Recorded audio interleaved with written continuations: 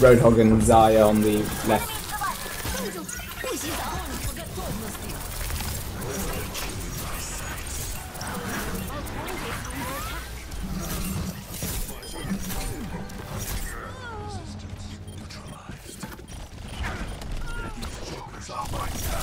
Well played, well played.